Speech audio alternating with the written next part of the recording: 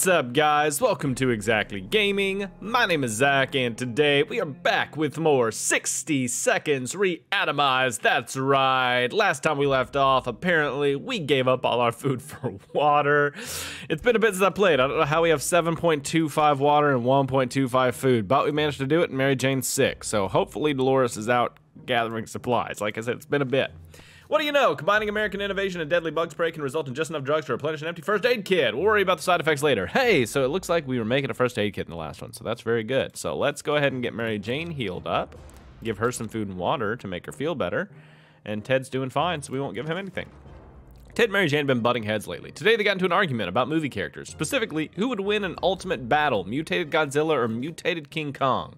It's a tricky one for sure, and the debate is heated. Who will come out on top? Uh, let's say Mary Jane wins this one. She's sick. Why not? Let her win this one. Ooh, day 19. Nice. All right.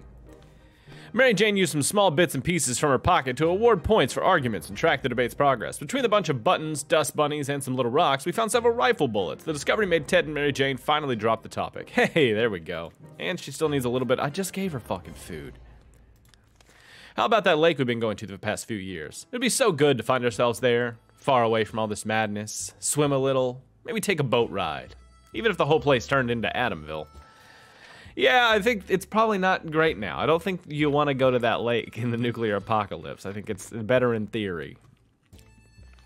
Still, it's better to be safe down here than dead up there. Mary Jane is quite hungry. Ted looks like he's got one foot in the grave and he's gonna drink right now. Right, hungry dehydration. I'm honestly playing a fun mental game with myself where I can't remember if Dolores is alive or dead. I think she's alive and getting supplies, but I can't remember. We received a mysterious note today, politely requesting that we share some supplies with other survivors. We have no idea who it might be from, but whoever wrote this also included a few words of encouragement, saying it will be some way rewarded for our generosity. Should we do it? I mean, yeah, it's our last soup can, sure. That'll be what we... If Dolores doesn't come back, we're definitely screwed now. Usually I watch the ends of the last episode, but I, I didn't this time, so we're, we're flying blind. The authors of the note turned out to be twin siblings, a brother and sister. They greeted us happily and took a small tent where they started handing out the supplies we brought to a small group of hungry survivors. Between them were people of all ages, including children, the elderly, and even a mime. You know that mime age? The siblings shook our hands and proclaimed this is the beginning of a new friendship. They promised to contact us again soon. Well, that's good because we don't have any food, really. So we're just kind of hanging out. Do I have any food? No, I have zero. Ooh, that's not good. Before the world turned into an unforgiving dead wasteland, they were friends with most everybody in our town, including the old man Jim, who would shamble through our street and often ask and say hello. When we wanted to visit him once, he gave us an address that took us to a park. Old man Jim is such a joker. It appears that he survives the blast since he's at our door right now, asking if we want to buy a rock. Yeah, we'll buy a rock from Jim. Maybe we can eat it. Day 22. Right. We opened the door and greeted the old man with a smile. He was eager to show us a big bag filled with a rich choice of rocks and convinced us to take one for free for old time's sake. We agreed, carefully chose the best looking rock, and the man left. We can't complain. It's a good rock, really. Also, he claimed it brings luck. We'll see about that. Mary Jane isn't looking very good. She hasn't eaten in a while. Right. Dehydration. Well, we can solve that problem. Today, an army broadcast interrupted our let's just call it breakfast. Anyway, they seemed very eager to evacuate us away from here, but then we went over several things that needed to happen before they'd do it. First item on the list is up to us. We were given a geographical coordinates and need to get there to leave the sign we're still alive. This should be easy with a map. God, Dolores has got to be back soon. Yep, because it wouldn't let me go out. I just remembered she was gone because it won't let me go out. And yes, she's back. No food? Are you fucking shitting me, Dolores? You got more water, you son of a bitch. Oh, and she's sick. Oh, fuck. We're screwed. We were sure we could find the location without a map. We were wrong. Hopefully we'll get lucky next time. We were glad to see Dolores come back safely from the wasteland. The nuke did most of the destructive work, but gasoline reserves made the nearby gas station blew up as well. Blew up? Made the... Oh, reserves under. I thought it said made. Under the nearby gas station blew up as well. All that was left of the place was a crippled cashier's booth and the remains of several cars. Someone might have thought 60 seconds was enough to, for a gas refill and a quick getaway. They thought wrong.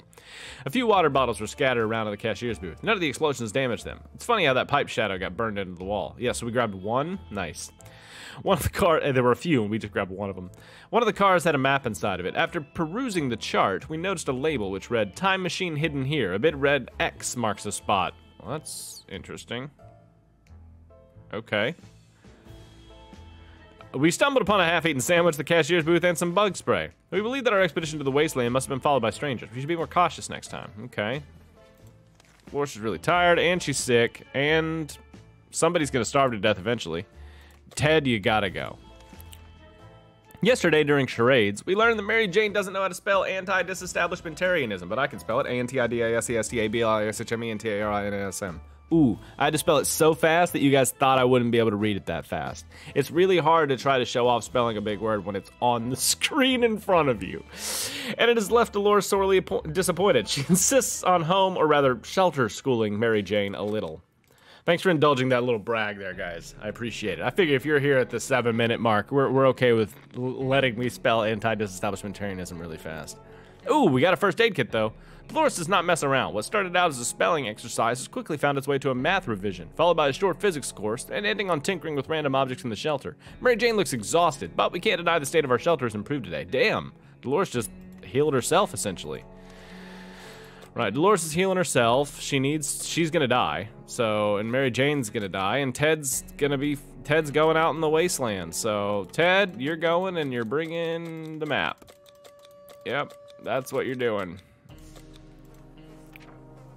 Please come back with food. Well, it's not gonna matter because they're gonna be dead when you get back, Ted. So we're gonna see how this goes.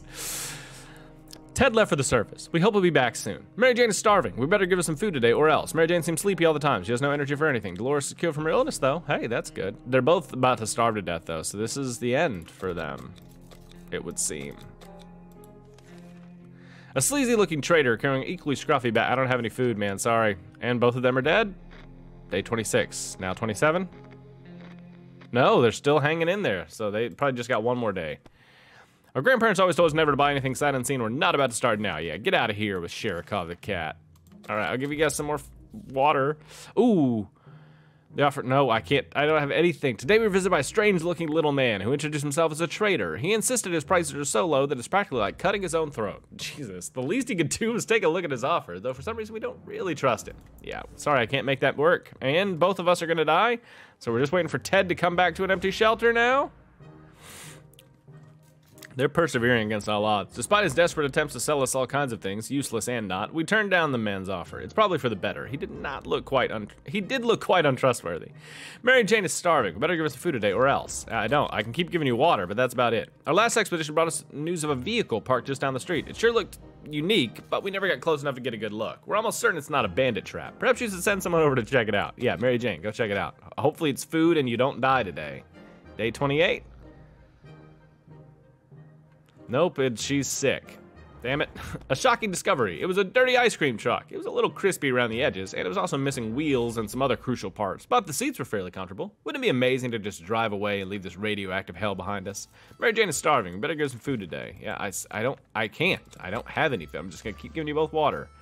There it goes again. Noises. Weird noises all the time. Are they coming from the pipes? Walls? Is it something behind the door? We don't know, and it's driving us insane. We should sit down and relax. Otherwise, we might get paranoid. Yeah, yeah. You guys play checkers before you die. Day 29. I don't know how they're alive this long. I've never seen starvation. Maybe it's because I'm giving them water, and that's the only thing keeping them. Having some fun made us forget about, what was it again? Mary Jane starving? Yeah, let's just keep giving him water. Maybe that'll hold over until he gets back. When someone knocked on the door, we were suspicious and cautious. But after a few minutes of talking, it turned out it was just a group of old ladies who were at a tea party not far from here when the bombs dropped. We thought it would only be good manners to talk to them face to face. When we opened the door, those old bats attacked us with their umbrellas, canes, and something that looked like a spiked table leg. We need to fight back. Yeah, shoot those old ladies. Day 30, Ted's back. Holy shit, did he bring food? Oh, Mary Jane died but he brought food. It's not surprising that the few shots were enough to send those cowards running. The question is, what happens if the rifle malfunctions, or we use all our ammo? We do hope it won't come to that. Otherwise, we might need to defend ourselves using knives and forks. Oh, damn it. We spoke too soon. We think the gun is broken. What do we do now? Well, we sit here with a broken gun. Hey, Ted has safely returned from his voyage to the surface. We thought the metro station could be a good spot to scavenge for undamaged supplies. It turned out some came up with the same idea. There's a group of people living down there. They use bullets as currency. They're no bandits, but they keep to themselves. They told us to have a look around if we wanted to.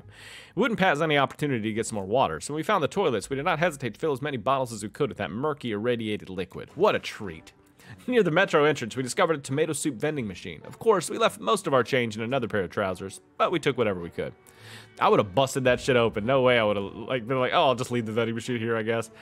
The, the group living at the station had thrown a bunch of suitcases, backpacks, and bags to form a big pile and called it a barricade. We carefully took a particularly nice-looking suitcase. It was quite tricky, and we came close to collapsing that house of cards, but thankfully we did not ruin the whole thing. Hey, we got a suitcase. Might sound paranoid yet, but we think somebody followed us. Dolores has barely any strength left. Uh, what happened to... We couldn't spare any food from Mary Jane, and eventually she reached the boiling point where stare was enough to kill. She left without a word, but we knew she'd probably become a highway woman and get all the food cans she would ever need. Nice. Starvation, yep, so we've got food for you. And food for you, of course. And no first aid kit, sorry. We're not certain. Dolores can go outside, yeah. The siblings are back. Their group is growing bigger with each passing day as they pick tired and hungry survivors and nurse them back to health. Hey, pick us, please. However, so far they've only won 10, and soon they will run our space for everybody. Right now, they're scouting the town, looking for a good spot to build a bigger camp, and they could really use a map. Why not? Take ours. Day 31. All right. Well, you know what? We're making it along here. We got Dolores back. She's sick. And we got Ted and Mary Jane has departed. So, you know, we're just to sit with our six water and our one and a half soup cans. And I think I'm to end that one here for the day, guys. If you did like this one, be sure to like, subscribe. Let's see if the parents can get out of this one. And of course, I'll see you next time. Bye.